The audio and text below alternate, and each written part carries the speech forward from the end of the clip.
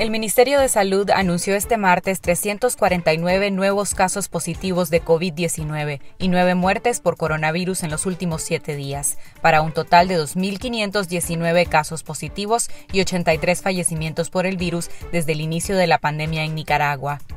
Las cifras oficiales sobre el avance del nuevo coronavirus continúa disminuyendo, en contraste con la realidad que vive el personal de salud en los hospitales del país. Fuentes médicas del Hospital Alemán Nicaragüense confirmaron a Confidencial que entre este domingo y lunes pasado fallecieron 18 pacientes por COVID-19 en ese centro hospitalario, el doble de lo que presenta el informe nacional del MINSA de toda una semana. Los datos del MINSA también siguen siendo casi tres veces inferior a los 6.775 casos sospechosos y 1.878 muertes asociadas al coronavirus, reportadas por el Independiente Observatorio Ciudadano COVID-19. La Organización Panamericana de la Salud, OPS, advirtió este martes que el organismo regional continúa sin tener certeza de la situación del avance del COVID-19 en Nicaragua, ante la escasa información proporcionada por el régimen de Daniel Ortega. Para el doctor Marcos Espinal, director del Departamento de Enfermedades Transmisibles de la OPS, los países con más casos de COVID-19 en Centroamérica, como Panamá, son los que han realizado más pruebas y tienen un panorama claro de la magnitud de la pandemia, al contrario de lo que sucede en Nicaragua. Pero hay buenas prácticas en todos nuestros países. Podemos ver que Panamá y eh, El Salvador tienen programas de testeo, como decía muy bien el doctor Barbosa hace unos minutos, eh, excelentes, están disponiendo los test para la población. Entonces, eso nos permite tener un problema en la magnitud del problema. Eh, y por eso eh, es que Panamá tiene más casos, pero no significa que el que tiene más casos sea el que peor lo está haciendo. También hemos hablado y la directora se ha referido a la situación de Nicaragua. Todavía hoy no sabemos el número de test que hace Nicaragua. Siete líderes de cámaras empresariales consultados por Confidencial coinciden en que el tiempo de José Adán Aguirre en la presidencia del Consejo Superior de la empresa privada ya llegó a su fin y demandan un nuevo liderazgo en el COSEP.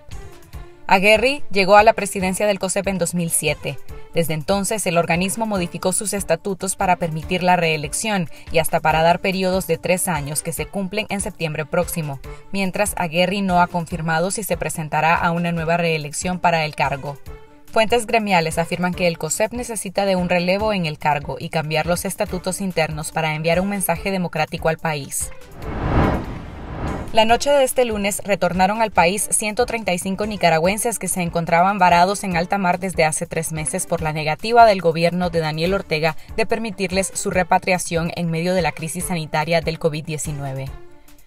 El grupo que retornó pertenecía a la compañía de cruceros comerciales Carnival Cruise Line y Princess Cruise Line y son originarios en su mayoría de la costa caribe de Nicaragua. Sin embargo, centenares de nicaragüenses continúan demandando al gobierno de Ortega responder a la solicitud de repatriación que ha sido negada sin justificación. En Islas Caimán hay al menos 300 nicaragüenses a la espera de poder retornar a Nicaragua. Desde que inició la pandemia de coronavirus, los nicaragüenses pagan siete veces más por una mascarilla. Previo a la pandemia, el costo de una mascarilla regular era de 3 córdobas. Ahora su costo oscila entre 20 y 24 córdobas. Las mascarillas N95 de uso médico o industrial se cotizaban antes en unos 40 córdobas. Hoy cuestan entre 160 y 300 córdobas. El uso de mascarilla es una recomendación de especialistas a nivel local e internacional para mitigar la propagación del virus, especialmente en espacios públicos como bancos, supermercados o centros corporativos y en medios de transporte colectivo. El sector privado y organizaciones de sociedad civil han demandado la exoneración de productos de salud esenciales para hacer frente al COVID-19, petición que el régimen Ortega Murillo ignora. Lea más sobre el tema en confidencial.com.ni. En nuestro canal de YouTube le recomendamos ver el reportaje especial La Frontera Dibujada, que recorre 11 puntos de la frontera entre Nicaragua y Costa Rica para conocer cómo viven los pueblos transfronterizos en medio de la pandemia de COVID-19. Escuche sus testimonios, problemáticas y reflexiones en esta pieza que forma parte de una investigación binacional que realizamos en conjunto con los medios costarricenses La Voz de Guanacaste e Interferencia de radioemisoras UCR.